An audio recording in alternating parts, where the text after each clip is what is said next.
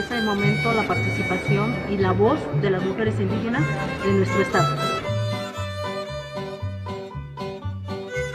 Nuestro partido ha hecho un buen papel en donde tenemos el 50% de la participación de mujeres y desde luego la participación de las mujeres indígenas. Reforzaremos la participación de las mujeres, incluyéndolo en todos los sentidos la participación. Yo creo que eso sería el trabajo de Magdalena y de, del Estado de México y sobre todo en el distrito que nos corresponde.